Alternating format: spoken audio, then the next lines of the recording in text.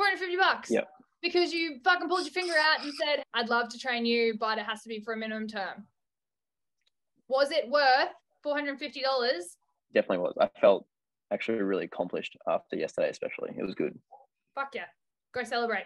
Because $450 in a week is half of a full time wage Yep. for some people. And you did that in a week, not including what you're already making. Yep. It's huge. Yeah, it's good.